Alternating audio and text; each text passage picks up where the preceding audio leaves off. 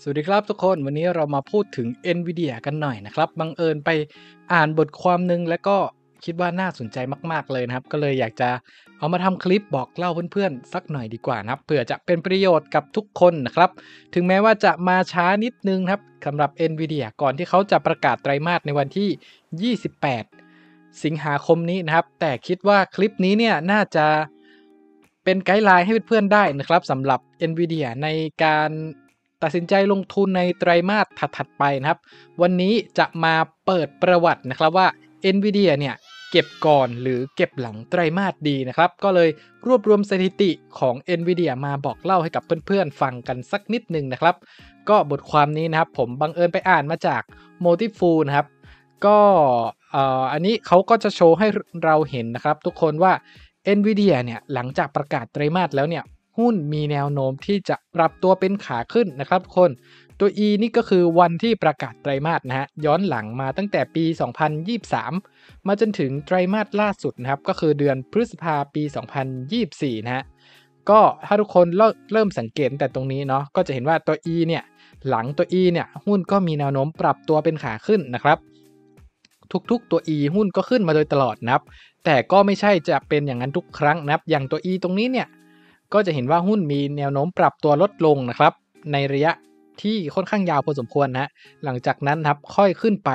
นะครับ แล้วก็ขึ้นไปใหม่นะครับ แล้วก็ไตรมาสนี้ก็เช่นกันครับ หลังจากที่ประกาศงบปุ๊บเนี่ยหุ้นปรับตัวลดลงนะครับ แล้วก็ค่อยปรับตัวขึ้นไปนั่นเองนะครับ แต่ไตรมาสนี้นะครับก็น่าจะโตแบบก้าวกระโดดนะครับ หลังจากประกาศไตรมาสปุ๊บนะครับหุ้นเด้งนะครับ พอเด้งไปถึงจุดหนึ่งก็มีแรงเทขายลงมาตลอดนะครับ ไตรมาสนี้ก็เช่นกันครับ ประกาศไตรมาสปุ๊บเด้งขึ้นไปนะฮะแล้วก็ปรับตัวลดลงมานะครับ ดังนั้นก็จะเป็นแนวโน้มให้ทุกคนได้เห็นนะว่า NVIDIA เนี่ยถ้าเราเก็บก่อนไตรมาสเนี่ยมีโอกาสสูงนะครับ ที่หุ้นจะปรับตัวเป็นขาขึ้น และสักพักหนึ่งนะครับ หุ้นก็จะปรับตัวลดลงนั่นเองนะครับ อันนี้ก็น่าจะเป็นไกด์ไลน์ให้เพื่อนๆได้นะครับสำหรับคนที่กำลังลังเลอยู่ว่า NVIDIA เนี่ยเก็บก่อนหรือเก็บหลังดีนะครับ อันนี้เอาสถิติมาบอกเล่าให้ทุกคนฟังเลยละกันนะครับ ถ้าเรามาดูกราฟจริง ๆ มันก็จะเป็นแนวโน้มคล้ายๆ กันเพื่อนๆ อันนี้กราฟจาก Trading View นะฮะเพื่อนๆ จะย้อนหลังไปยาวๆ หน่อยก็ได้นะครับ เนี่ย ก็ไตรมาสนี้เนาะขึ้น ไตรมาสนี้ก็ขึ้นนะครับ ไตรมาสนี้ขึ้นนะฮะ แต่หลังจากขึ้นเนี่ยเพื่อนๆ ก็ต้องลองดูด้วยเนาะว่ามันมีกราฟแดงตามมาครับ อันนี้เป็น time frame week นะเพื่อนๆ ก็น่าจะเห็นนะครับ เนี่ยอย่างไตรมาสนี้เนี่ย ประกาศปุ๊บปรับตัวลดลงนะครับไตรมาสนี้ประกาศปุ๊บขึ้นไปเนาะแล้วหลังจากนั้นก็ปรับตัวลดลงนะครับ อาจจะไปชนแนวต้านเดิม หรืออาจจะมีข่าวกังวลอะไรเล็กน้อยนะครับ แต่ทุกๆ ครั้งที่ประกาศไตรมาสเนี่ยเพื่อนๆก็จะได้อัพไซด์นะครับหรือว่าจะได้กำไรจากการเข้าไปซื้อก่อนไตรมาสเนี่ยสักระยะหนึ่งนะครับ หลังจากนั้นหุ้นค่อยปรับตัวลดลงมานั่นเองนะครับ ทีนี้เรามาดูไตรมาสกันอีกสักนิดนะฮะเพื่อนๆ อันนี้เป็นในเชิงของตัวเลขเนาะที่ผ่านมาครับ NVIDIA โตมามากแค่ไหนนะเพื่อนๆ ก็ให้ทุกคนดูตั้งแต่ปี 2024 เป็นต้นไปเนาะถ้าเราไม่นับก่อนหน้าปี 2024 นับที่การเติบโตของ NVIDIA เนี่ยติดลบนะครับหลายไตรมาสติดนะ NVIDIA เนี่ยเริ่มฟื้นเมื่อปี 2023 นับประมาณตุลาปี 2023 นะครับ โตมาได้ประมาณ 101%นะครับ หลังจากนั้นโตมา 205%นะครับ โตมา 265%นะครับ แล้วก็โตมา 262%นะครับ หากไตรมาสนี้เนี่ยโตเพียงแค่ 100%เนี่ย อันนี้ผมก็เดาอารมณ์ตลาดไม่ถูกเลยนะครับ ถ้าจะให้ตลาดเนี่ยเป็นขาขึ้นจริง ๆ นะครับ หรือหน้าหายจริง ๆ เนี่ย NVIDIA จะต้องโตในระดับ 200%อีกหนึ่งครั้งนะครับ แต่ผมก็ เดาอารมณ์ตลาดไม่ถูกอย่างที่บอกไปเนาะตลาดอาจจะแพนิคนะครับว่า NVIDIA อาจจะโตน้อยลงหรือเปล่าครับ แต่การที่จะรักษาโมเมนตัมในการโต 200%หลาย ๆ ไตรมาสติดเนี่ยมันก็เป็นอะไรที่ค่อนข้างยากเหมือนกันครับ ดังนั้นเพื่อนๆก็ต้องมาลุ้นกันนะครับสำหรับไตรมาสของ NVIDIA นะฮะถ้าเพื่อนๆลองย้อนหลังดูย้อนหลังนะเพื่อนๆก็จะเห็นว่า NVIDIA เนี่ยไม่เคยโตในระดับ 100%มาก่อนนะครับ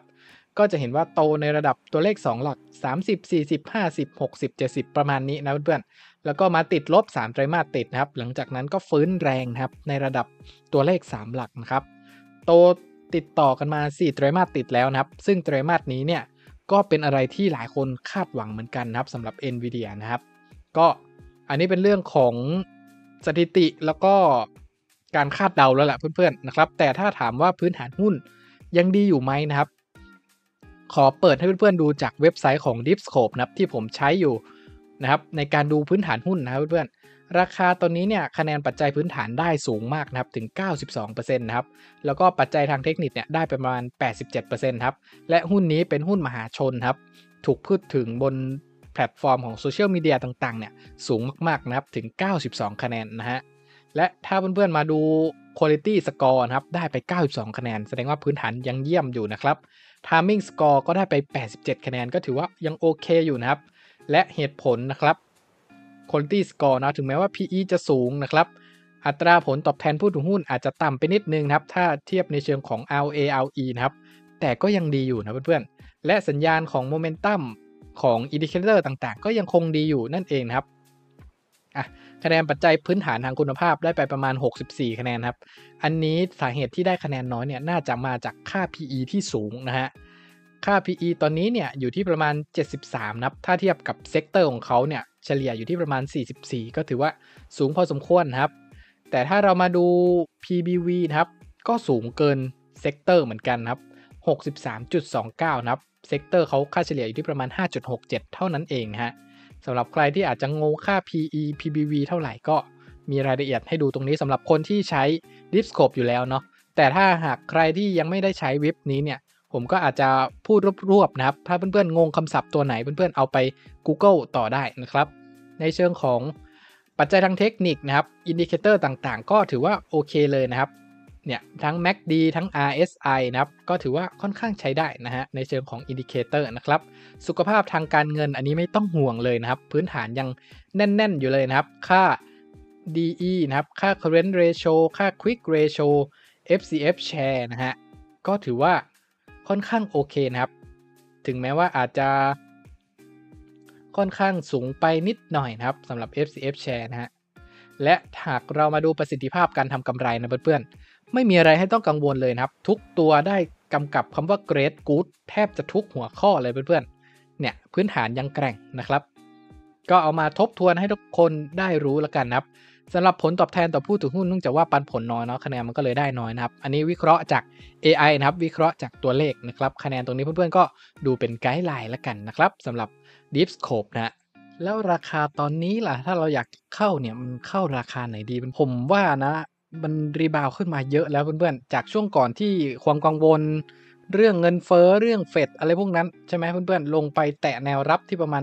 92อะถ้าใครช้อนทันช่วงนั้นก็น่าจะได้ราคาที่ค่อนข้างดีเลยนะครับ แต่ถ้าจะมาช้อนตอนนี้เนี่ยผมว่ามันอาจจะสูงเกินไปหน่อยนะฮะถ้ารอใกล้ที่สุดเนี่ยแนวรับก็ประมาณนี้มันประมาณ 119 นะครับ แล้วก็ถ้าพ้น 119 ก็นี่เลยนะครับ ประมาณ 92 เลย แต่หากจะมาช้อนตรงนี้เนี่ย เราก็ไม่รู้นะว่าตลาดจะแพนิคหรือไม่แพนิคนะครับคงต้องเสี่ยงอะเราอาจจะไปต่อนะไปเฉาะเขาชนแนวต้านตรงนี้ หรืออาจจะร่วงก็ได้นะครับมันมันค่อนข้างเสี่ยงนะถ้าจะเข้าตรงนี้นะครับ อันนี้เพื่อนๆก็ลองเอาไปพิจารณาดูแล้วกันนะครับ แล้วก็ประกอบกับแผนการลงทุนของเพื่อนๆนะครับว่ายังเห็น NVIDIA น่าเก็บอยู่หรือเปล่านะครับณนะเวลานี้นะครับ